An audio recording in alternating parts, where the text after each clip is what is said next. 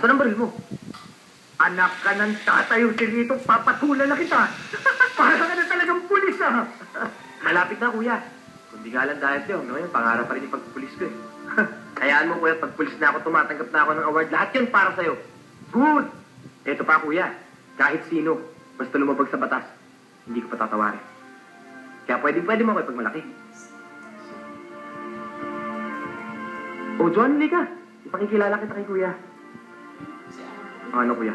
Ayos ba? Ayos, tingin mo. Nuebe, nuebe.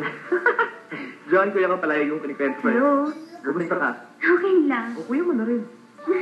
Pa- Paano mo napagtsagaan to kapatid ko? Kuya naman eh.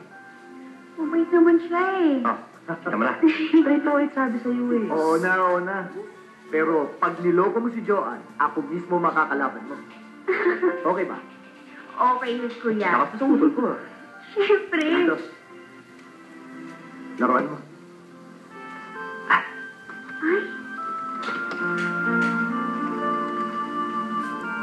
May lisensya na yan.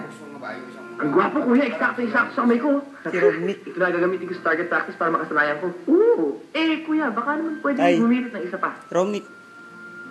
Yun naman eh kung pwede lang. Hindi, okay lang. O, sige na, sige na. Sabihin mo kung ano yun. Baka pwedeng pagka-graduate ko sa pagka-pulis. Kotse na ako. Naawa ako eh.